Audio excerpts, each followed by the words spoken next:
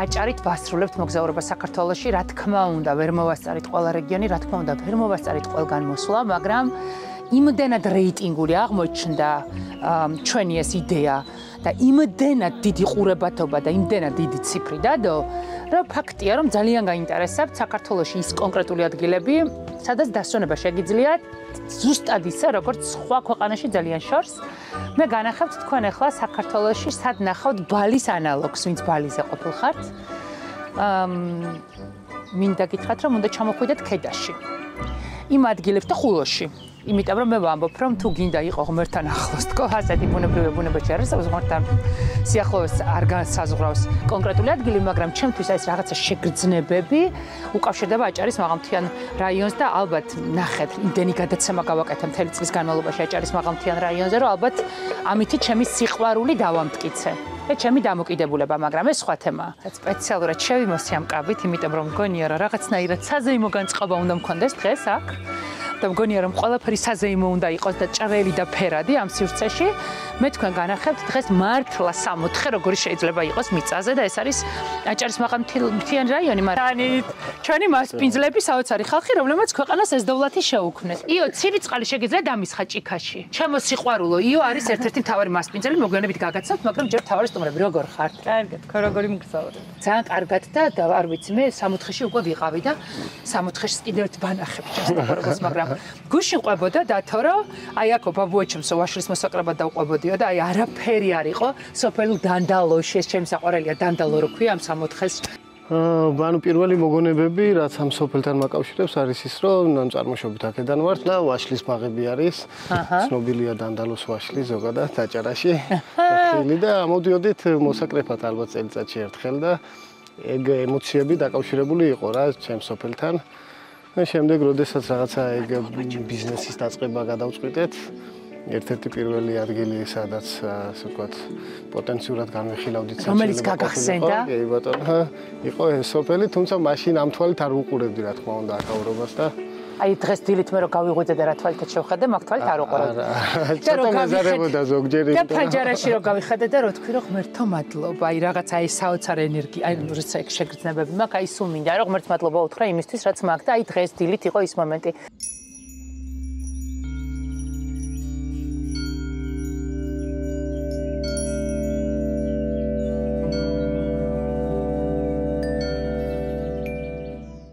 და იდეა ბიზნესის გაჩნდა მაშინ, როდესაც მაიკომ გადაწყვიტა, რომ დაიღალა 6 სამსახურით, პირადი პრობლემებით, მარტო ხელა დედობით და მეგობრებთან დაიწუწუნა, რომ ხალხნო, მინდა სადღაც ტყეში, მაიკო რა დაიწუწუნე მეგობრებთან? ხალი განქორწინებული ვიყავი, რაც ცხოვრების პრობლემები მქონდა, რაც ბუნებრივად მოთხოვნა იყო ეგეთი, რომ უნდა მქონდა მაღალანო ცხოვრება, სამსახური ან ბევრი, ჩემი შვილის უზრუნველს აყოფად და გადამწვარი. დედას ვთხოვე, რომ აი იქნებ სადმე გავიხიზნო, ისე რომ კონტაქტი არ მქონდეს გარე სამყაროსთან, მაგრამ ვიყო უსაფრთხო. მაშინ ეგეთი ადგილი ვერ ვნახე ოჯახის გარე მოცვაში და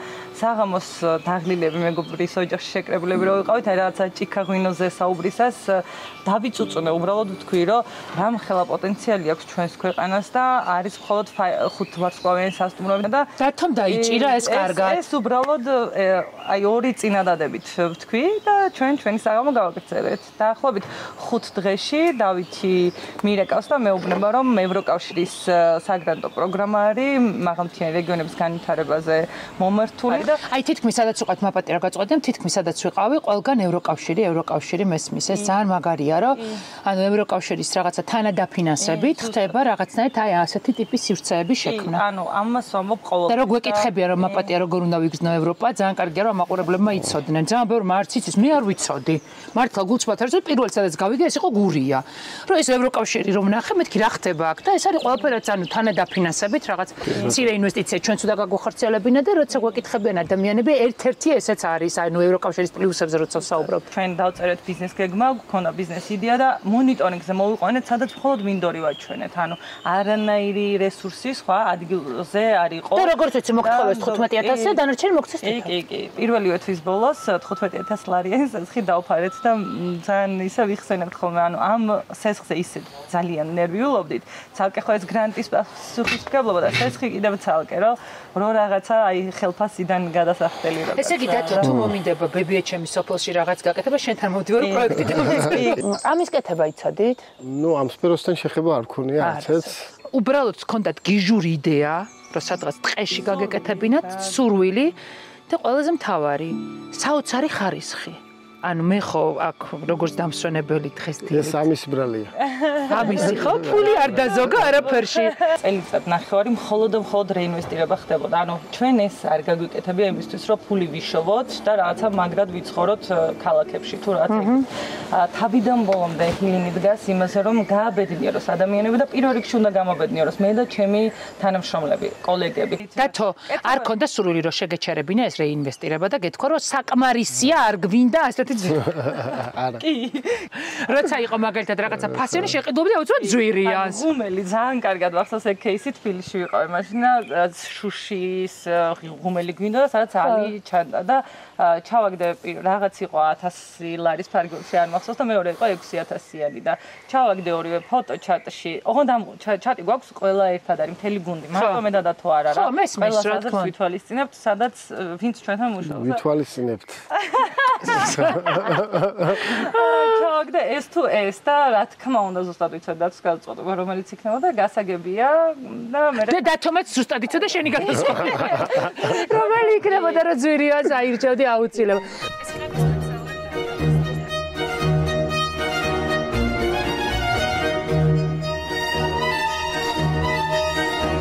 ესეთი გადამიღე ხა თავიდან.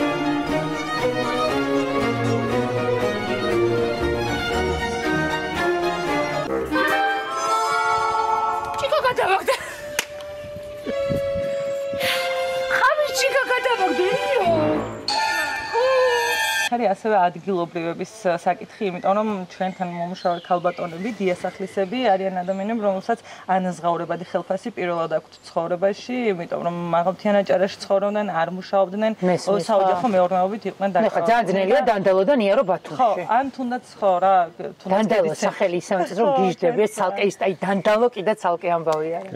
თუ რუსი მოდის რა ხდება?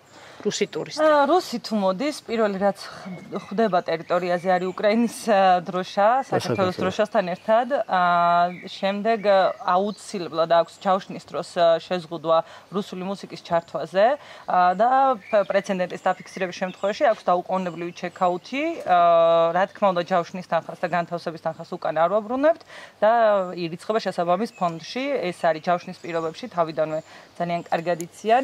აქ რო ამოდიან რას გეუბნებიან? რა ენერგიები მიაქვთ, რა შეგრძნებები მიაქვთ? ცირითადად ბედნიერები მიდიან აქედან.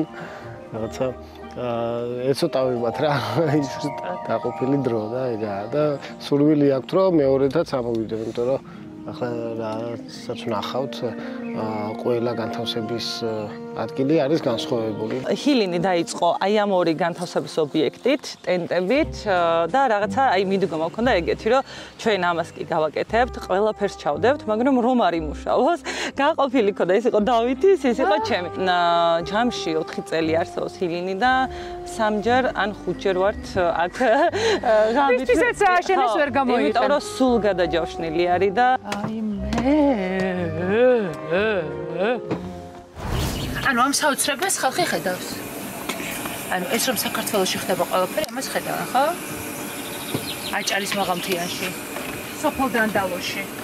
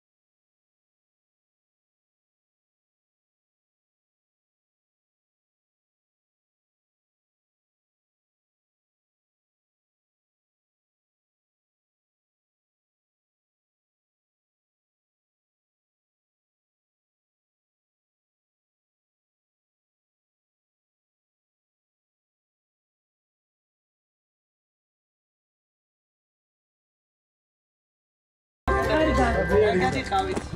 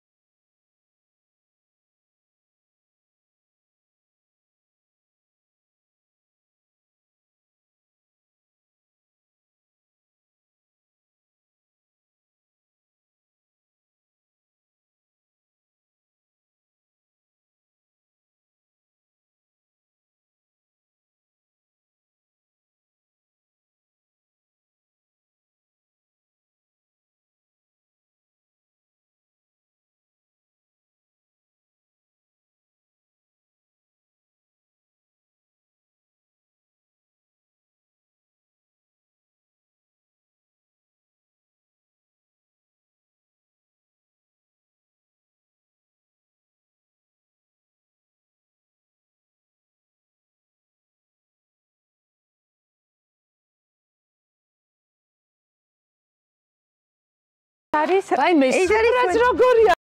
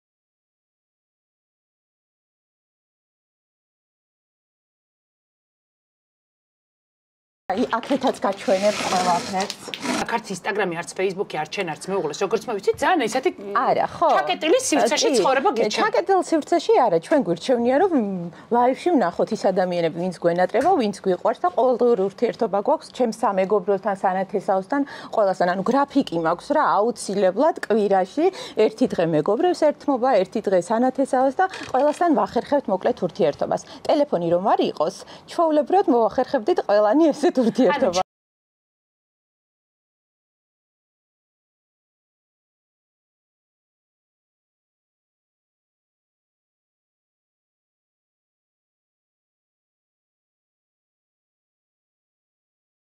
ურთიერთობა. შენი ეს ეს ბეჭდები, შენი ეს აუთფიტი, ყველაფერი ძალიან ბედნიერი და ფერადი, ანუ ესეთი ხარ? კი, ესეთი ვარ, ფერადი ვარ, მართლა ძალიან მიყვარს ფერადი ყველაფერი და ზოგადად ცხოვრება ძალიან მიყვარს, მართლა. რაღაც მაბედნიერებს ყველაფერი. მიუხედავად იმისა, ეხა ყველა ცხოვრებაში არის მილიონი პრობლემა ნამდვილად, თუნდაც ბავშვები, თუნდაც იქ ვიღაცა ახლობელს რაღაცა პრობლემა აქვს, მაგრამ დღის ბოლოს რო ვრჩები ჩემ თავთან, ხვდები რომ მაინც ბედნიერი ვარ, მაინც ბედნიერი ვარ და ამ ბოლოს რაღაც დამჩემდა შიში და ცოტა ისე ვარ დაძაბული ვარ ამ მდგომარეობით, მაგრამ არა ვსა. რაღაცა ძალიან ის ვარ, აჟიტირებული ვარ, რაღაცა ბედნიერი ვარ ძალიან და თან ყველაფერი გამომდის და აი მეშინია ხანდახან მეშინია ხოლმე პირიქით სამყაროსთან ახლა პირდაპირ კონტაქტზე ხარ.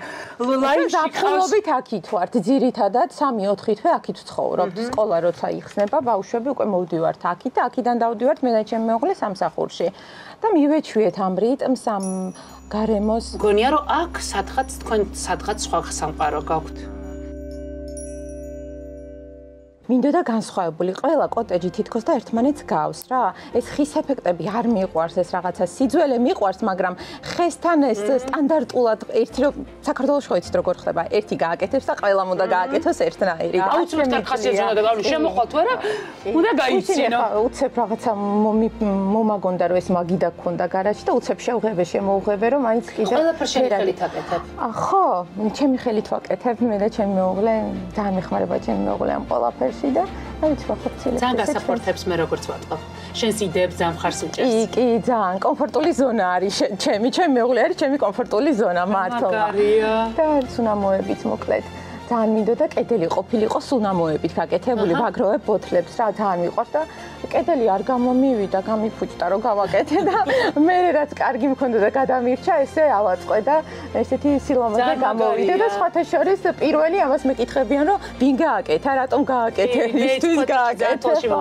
მაგრამ ძალიან მომწონს ეს ძველი ჭურჭელი. ვაიმე ყავის საფრქვავი უნდა ვნახო. არ მიჯერა ხახნოს კიდე თუ არსებობდა? ორი ყავის საფრქვავი არის მაგრამ ერთიც და ეს ცოტა ახლებული სტილი პირველ ეს ცოტა თანამედროვეა და ეს ძალიან ძველია ჩემს ოპერატორებს შეხედა სახებელთ ვერ მიხვდნენ იმიტომ ესენი მერე დაიბადნენ. და საერთოდ ვერ ხვდებ ხო აქსი მე რატო? ა დიდას აქვს.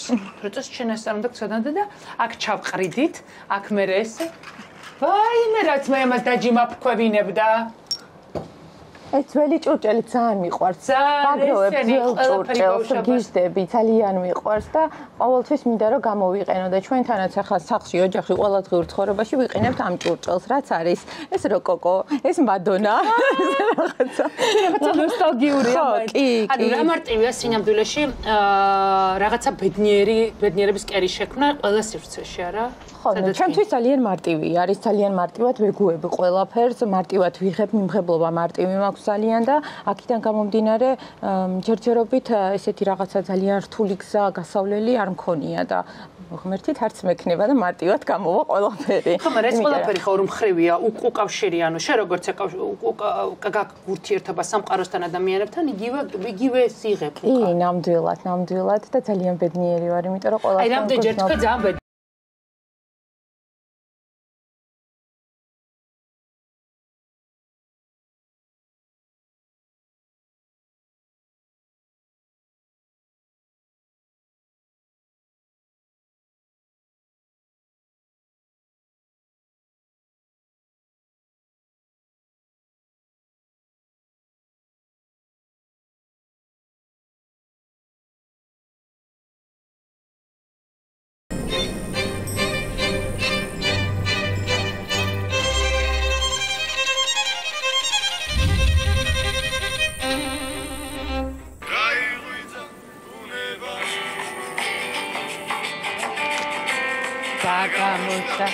ნაპირი.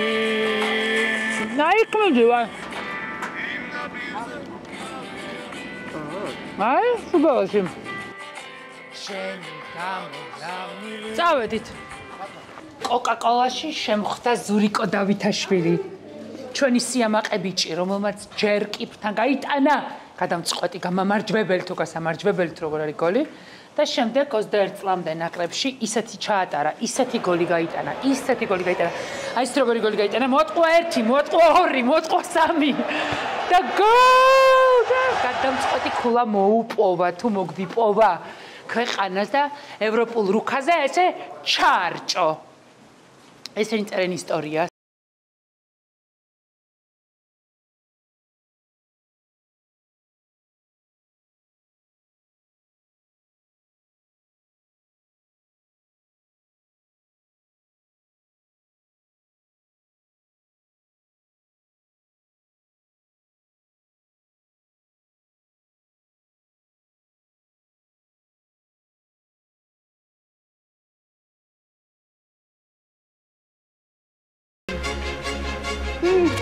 გამარჯობა, გამარჯობა.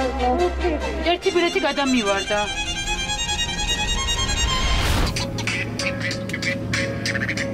რაცა შიში და ამარცხეს იმაღლის და საბაგიროზე ხვდები.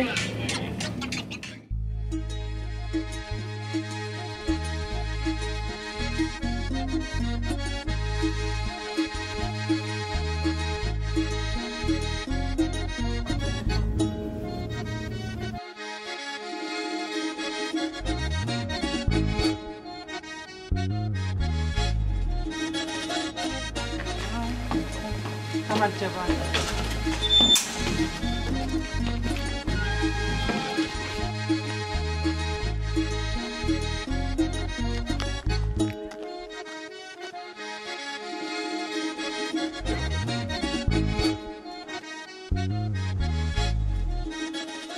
თაგაში ვარ თუკა პრინციპში.